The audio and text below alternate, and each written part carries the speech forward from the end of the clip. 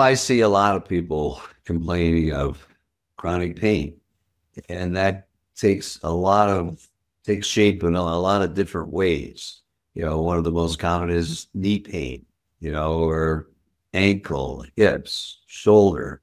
You know, it just seems as we get a little older, we've been really active, whether it's enjoying skiing, hiking, you know, racket sports. We see a common variety of sports medicine injuries that just you know, initially they're maybe acute injuries, wear and tear. We got better. We didn't think about it, but there's something called cumulative trauma. And over micro trauma to the joints, ligaments, to the tendons, let's say of the rotator cuff, just from how we sleep at night, from impingement, how we sleep with that arm up over our shoulder, it pinches those tendons under the, the bony roof of the shoulder joint, if you will. And so, so I see it in a lot of different ways.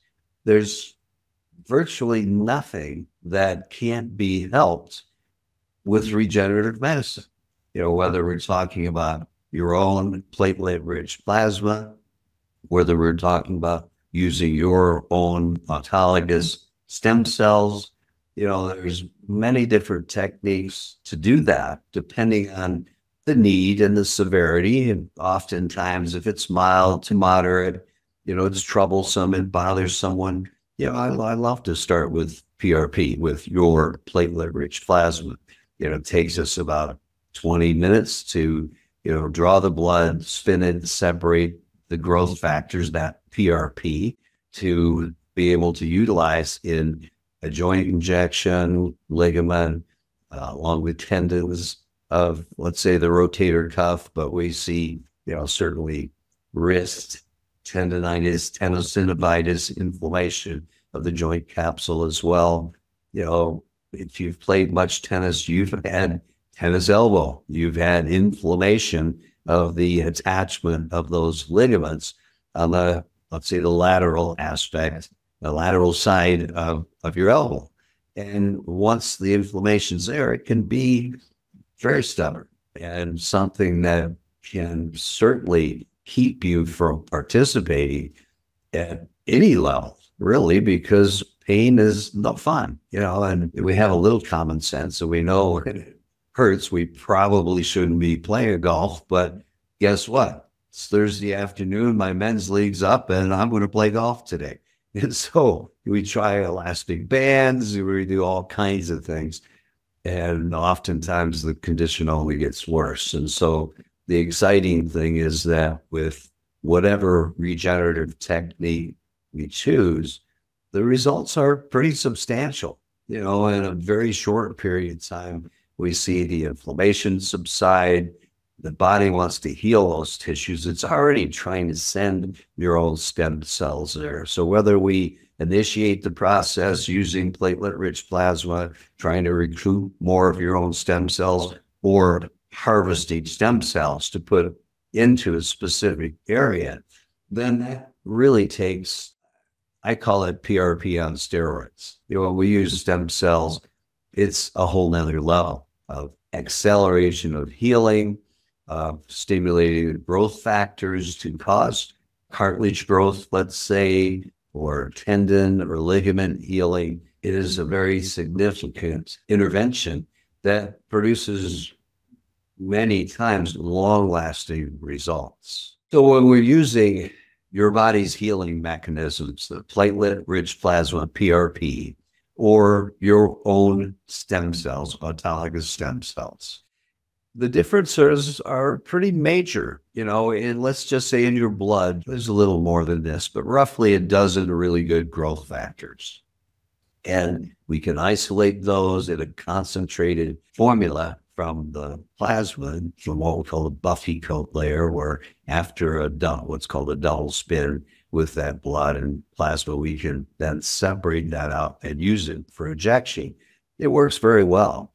But with stem cells, you know, as I said, PRP on steroids, you have hundreds of growth factors, messenger RNA, actual stem cells that contain these tiny nanoparticles. You may have heard of exosomes. Well, exosomes are derived from stem cells, umbilical cord, amniotic fluid, several sources. And when we inject a joint, let's say with your own stem cells, a large number of those stem cells attach to the cartilage surface, to the ligament, tendon, and start the healing process, replicating those cells, growing new cartilage. Some rupture right away. Well, we don't like to say they die, so we say they rupture. What does that mean? They die. They they die right away. Well, what happens? They release their contents. What are those? Exosomes, the tiny nanoparticles of exosomes, hundreds of growth factors, messenger RNA, things that compounds that stimulate healing.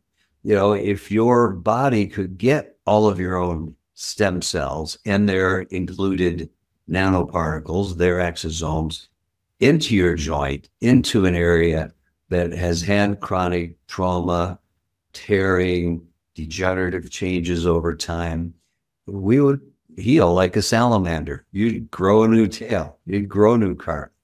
But the blood flow to those areas is not good. It's poor, in fact. And so when we can isolate the stem cells and put them directly into an area that needs repair, the results are spectacular.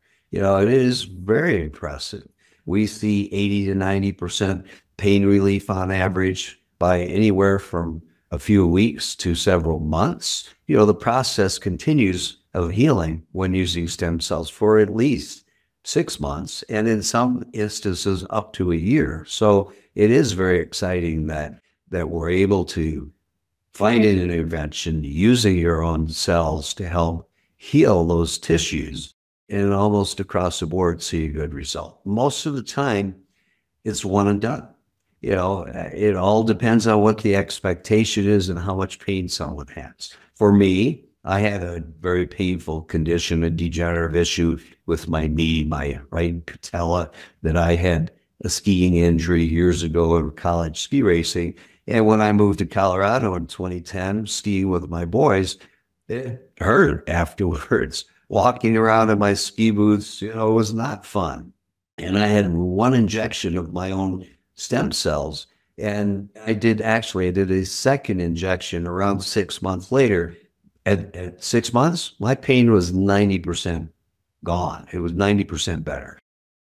But I wasn't going to be happy unless it was zero. Like I can move here to not ski or hurt when I walk around in my ski boots. I want another one. And so, okay. So I did it. And, and that was 12 years ago. It's never bothered me since. And so, you know, it really is exciting to be able to offer this kind of therapy to, to people and really feel confident that I'm doing something that is going to make a significant improvement in the quality of their life you know, over time with months and years to come. So, you know, people ask me all the time, and you may be thinking, am I a candidate for this? Well, it's real simple. We just need to schedule a visit, either in person in Denver or in Aspen or via telemedicine. And I would say, have any studies been done? Have you had an x-ray? Have you had an MRI? And if not, great, let's get one and find out specifically you know, where, where the damage is, what the severity level looks like, and then come up with a plan. Maybe it's just simply PRP, which is certainly a cost effective way to do this. Consider it's all cost effective if you consider the big picture. And what happens if I don't treat this over a long enough period of time, you get a joint replacement you know, and although that can be highly effective, and there's many great surgeons that I refer to that you probably will know, you may ski with or play golf with, but not everybody's ready for a joint replacement. The first time they make a decision to try and do something about their joint pain. So, you know, the easiest thing to do, if you have questions and I can help you in any way, click on the link below. Let's schedule a telemedicine visit if you have studies done, my staff will ask you and you can email them to us so that I have an opportunity to review that in advance. And if not, I'll order. We'll get it done and we'll see, you know, what can be done to help this and, you know, just how far do I have to go? I'm not going to be happy unless I have don't have pain and I can get back to tennis or golf or you know whatever your sport may be and your passion, um, because you know it's very treatable and we, we have seen great success with that. So I'd encourage you to at least reach out, try to find out what does this mean for me.